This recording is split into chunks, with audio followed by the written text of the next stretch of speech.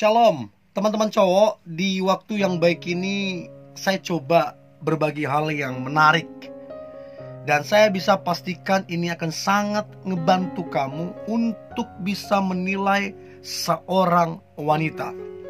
Nah, saya coba berbagi tentang delapan tanda wanita diam-diam jatuh cinta pada pria idamannya. Artinya teman-teman cowok, ada wanita yang begitu mengidamkan kamu. Baginya kamu adalah pria idamannya. Namun sering kali ada wanita yang tidak pintar ngomong. Ada juga yang gengsinya tinggi. Ada juga yang pendiam. Ada juga yang cuek. Tapi apa pun namanya itu, pasti ada tandanya. Dan itu pentingnya untuk kita bisa melihat tanda-tandanya. Dan saya berharap teman-teman cowok yang menonton ini engkau tajam menilai siapa tahu ternyata bahwa wanita itu adalah jodohmu. Dan perlu saya beritahu, memiliki tanda-tanda ini di, di, di wanita yang mencintaimu, itu itu artinya kamu beruntung punya pasangan yang nanti begitu mencintaimu karena kamu idamannya. So, berikut tanda wanita diam-diam jatuh cinta pada pria idamannya. Yang pertama, si wanita tersebut dia suka menatap kamunya. Baik waktu kalian berpapasan di jalan, di tempat makan, di mana pun itu, waktu kalian berpapasan, dia tatap kamunya. Atau waktu kalian bertemu dalam satu kegiatan, satu acara, satu event. Ketemu kalian, dia tatap kamu. Dan saya beritahu, berbeda tatapan orang yang sekedar saja menatap, berbeda tatapan teman, tapi dibandingkan dengan tatapan yang suka, itu berbeda banget ada satu perbedaan yang begitu nampak. Kalau dia cuman sekedar melihat ya udah sekedar aja. Kalau itu teman ya gitu juga sekedar aja. Tapi kalau dia suka sama kamu, dia akan menatapmu cukup lama bahkan sangat lama. Dan dia menatapmu dengan senyuman, dengan raut wajah bahagia, kagum segala macam dan bukan cuman kali itu aja. Setiap kali berpapasan, setiap kali ketemu, dia lakukan itu. Dia menatap kamunya. Kalau satu dua kali kita bisa bilang oh kebetulan. Tapi kalau berkali-kali dan konsisten dia menatap kamu.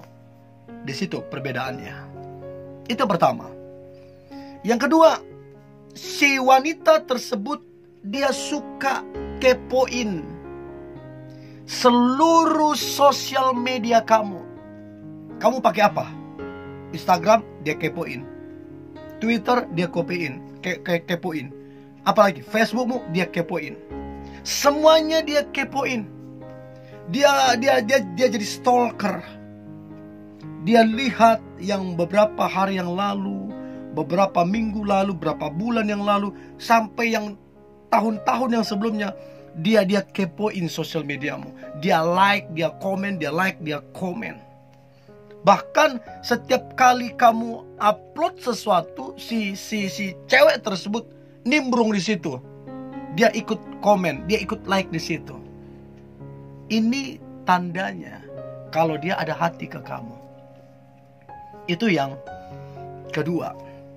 Yang ketiga, si wanita tersebut ketika kamu chat, ketika kamu telepon, dia cepat ngebalas chatmu. Dia cepat angkat teleponmu. Padahal kalau kamu lihat, kalau kamu perhatikan, si wanita tersebut lagi sibuk. Lagi rapat. Punya jabatan penting. Tapi kok dia cepat ngebalas chatmu? Kok dia cepat angkat teleponmu? Karena dia ada hati ke kamu. Kalau orang lain mungkin dia bilang, nanti dulu, saya lagi sibuk. Atau mungkin dia reject. Atau mungkin dia nggak angkat. Tapi kalau kamu beda, langsung dia balas. Karena memang dia ada hati ke kamu. Itu yang uh, ketiga. Yang keempat, si wanita tersebut banyak mencari tahu tentang dirimu. Mungkin lewat sosial mediamu dia cari tahu tentang dirimu hobimu, kesukaanmu, kebiasaanmu, pergaulanmu, pekerjaanmu, keluargamu, semua dia cari tahu lewat sosial mediamu. Dan bukan cuma sampai di sosial mediamu, di pertemananmu juga, di teman-temanmu juga dia tanya, gimana sih ini, gimana orangnya segala macam. Dia cari tahu kamu.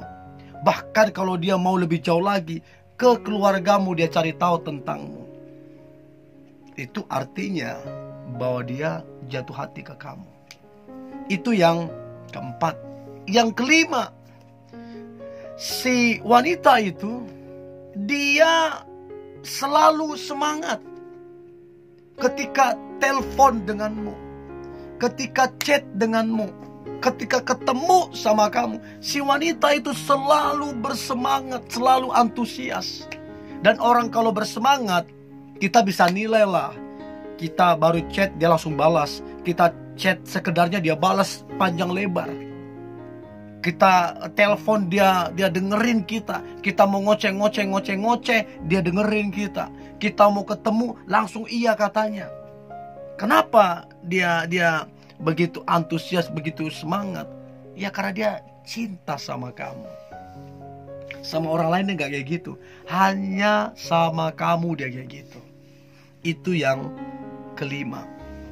Nah, kemudian yang keenam, si wanita tersebut dia memperhatikanmu secara detail. Mengenai pekerjaanmu dia perhatikan, mengenai keluargamu dia perhatikan, mengenai kesehatanmu dia perhatikan, masalah apa yang kamu sedang hadapi, tantangan apa dia perhatikan. Dan tidak cukup hanya diperhatikan, dia juga care, dia peduli. Dia membantu apa yang bisa dia bantu. Dia coba menolong kamu karena dia memang perhatian, dia memang peduli sama kamu. Teman-teman cowok, kalau kamu punya pasangan begini, saya beritahu, kamu beruntung. Dan saya beritahu untuk yang begini, stoknya terbatas, nggak banyak. Jadi coba tajamlah menilai supaya kamu jangan kelewatan yang terbaik yang tulus mencintaimu.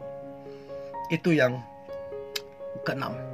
Yang ketujuh, tanda wanita diam-diam jatuh cinta pada pria idamannya adalah si wanita tersebut sangat-sangat sabar terhadapmu. Coba deh kamu renungkan.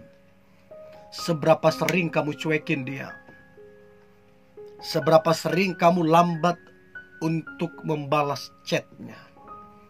Seberapa sering kamu hanya sekedar membalas chatnya. Tapi apa yang dia buat? Dia sabar. Bagi saya wanita seperti ini itu keren banget. Itu langkah. Kesabaran itu menandakan bahwa orang itu rendah hati. Kesabaran itu menandakan bahwa orang itu dapat menguasai dirinya. Bahkan terletak kedewasaan juga ada di situ karena sabar. Jadi coba perhatikan seberapa sabar dia menghadapimu. Itu tanda bahwa dia sangat-sangat mencintaimu. Dan yang terakhir, tanda wanita diam-diam jatuh cinta pada pria idamannya.